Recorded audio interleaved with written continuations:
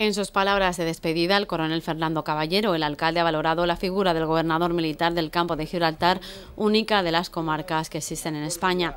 Asimismo, ha pedido al nuevo gobernador militar, José María Jiménez Portillo, que relevará en el cargo a Caballero su implicación con la ciudad. La andaluza ha destacado también el papel del ejército español en todas sus facetas.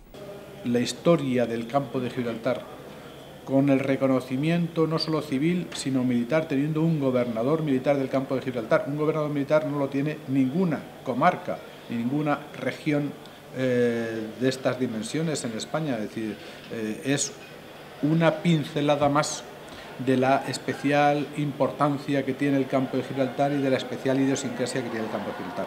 Por eso es importante eh, esa simbiosis, esa unión, eh, esa presencia permanente en los actos, en los eventos, porque una sociedad que no tenga un buen ejército es una sociedad débil.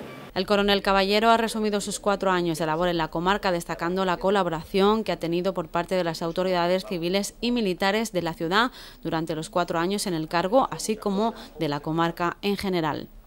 Han sido cuatro años de intensísima relación con el campo Gibraltar, eh, me llevo el cariño de, la población porque así lo he sentido cuando he venido y a los actos que he asistido. El reconocimiento que se tiene en este área geográfica de las Fuerzas Armadas y de su ejército, donde tenemos desplegado el ejército de tierra, cerca de mil efectivos, y sobre todo el tratamiento que los medios han hecho de todas las noticias relacionadas con defensa. Eso es muchísimo de agradecer. Me gustaría agradecer al alcalde el trato que ha tenido con nosotros y a todos los alcaldes de todos los municipios tanto por lo que han solicitado como el trato hacia mi persona y a los miembros de las Fuerzas Armadas y del Ejército en particular.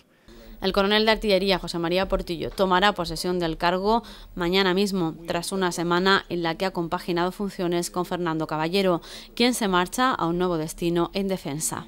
Lo hago con mucha ilusión, con muchas ganas y, bueno, recojo el testigo de, mi predecesor, que, creo que ha hecho una muy buena labor y por supuesto pues recojo su, su testigo, su, toda su labor y esperemos mantenerlo y si se puede incrementarlo.